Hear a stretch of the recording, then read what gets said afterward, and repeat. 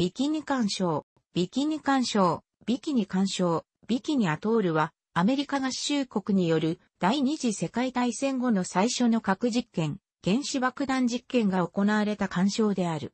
現在は、マーシャル諸島共和国に属する。また、この原子爆弾の実験が由来となって、水着のビキニの名称が生まれた、口述。ビキニ島とも呼ばれ、第二次世界大戦前の日本の海図には、非近未島と記述されている例もある。23の当初からなり、証拠の面積は594.1平方キロメートル。1946年から1958年にかけて太平洋核実験場の一つとしてアメリカ合衆国が23回の核実験を行った。2010年第34回世界遺産委員会においてユネスコの世界遺産リスト文化遺産に登録された。マーシャル諸島共和国初かつ唯一の世界遺産となった。1946年、アメリカ合衆国は当時新宅島治療であったビキニ干渉を核実験場に選んだ。住人170人は無人島のロンゲリック干渉に強制移住させられたが、漁業資源にも乏しく、飢餓に直面した。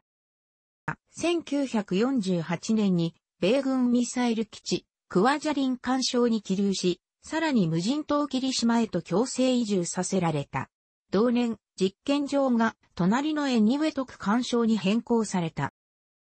1954年には再度実験場がビキニ干渉に戻り、核実験は1958年7月まで続けられた。この12年間に23回の核実験が実施された。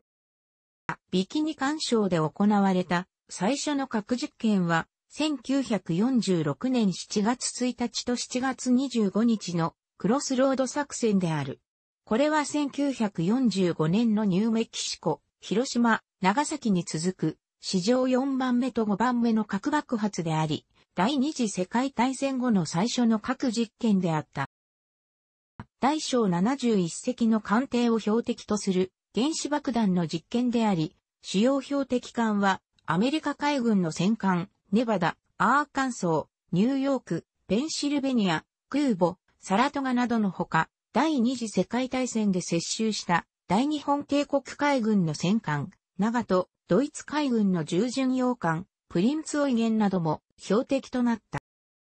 1954年からは4度の水爆実験が実施された。1954年3月1日のキャッスル作戦、ブラボー実験では、広島型原子爆弾約1000個分の爆発力 15MT の水素爆弾が炸裂し、海底に直径約 2km、深さ73メートルのクレーターが形成された。この時、日本のマグロ漁船、第五福竜丸を、はじめ、約1000隻以上の漁船が死の灰を浴びて被爆した。日本人船長らは犠牲となった。また、ビキニ干渉から約 240km 離れたロンゲラップ干渉にも死の灰が降り積もり、島民64人が被爆して避難することになった。この3月1日は、ビキニデーとして原水爆禁止運動の記念日となり、継続的な活動が行われている。アメリカ合衆国は1958年から残留放射能の調査を開始し、1968年にはビキニ返還を約束して放射能除去作業を開始した。8月には居住は安全であるとの結論が出され、島民の祈祷が許可され、実験に先立ち自答した167人のうち139人が祈祷した。1974年には140人の祈祷が許可された。しかし、放射能の影響で身体的異常が多数発生したため、住民は再び離島を余儀なくされ、霧島などに移住した。1975年に、島民は安全性に疑問を持ち、アメリカ政府に対して訴訟を起こした。その後1975年、1976年、1978年に調査が行われ、1978年9月には再避難することとなった。二度目の避難の後、1980年、1982年にも米国による調査が実施された。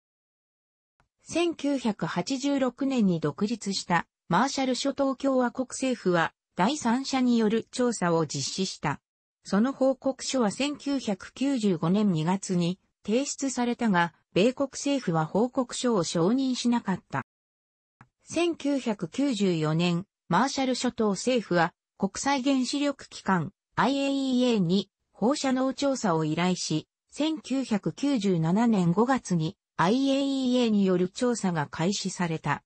1998年に IAEA は報告書、 Radiological Conditions at Bikini Atoll: Prospects for Resettlement を発表し、その中で本環礁に定住し、そこで得られる食料を取ると、年間15ミリシーベルトに達すると推定され、永住には適さないと結論付けた。島民は強制的にロンゲリック干渉へ、さらに霧島へと移住させられた。上記の理由もあり、2017年現在も、原島民は島に戻れていない。霧島は、ビキニ島の半分の面積しかなく、400人の住民は食糧難のもと、アメリカ政府から生活保障費を受け取っている。ビキニ島に人が居住できるようになる、原島民が島に戻れるのは、早くても2052年頃と推定されている。2008年4月、オーストラリア研究会議、アークは、ビキニ干渉のサンゴ礁の現状について発表した。その発表によると、ビキニ干渉面積の80%のサンゴ礁が回復しているが、28種のサンゴが減水爆実験で絶滅した。1946年7月1日の原爆実験、クロスロード作戦の直後の1946年7月5日に、ルイ・レアールがその小ささと周囲に与える破壊的力を原爆に例え、ライク・ザ・ボム、ザ・ビキニーズ・スモールデボティング、ビキニと命名してこの水着を発表した。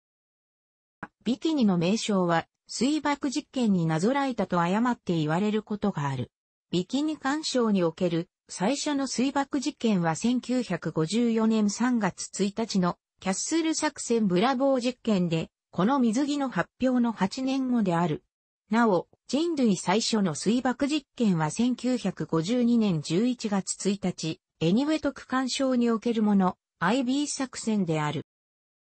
楽しくご覧になりましたら、購読と良いです。クリックしてください。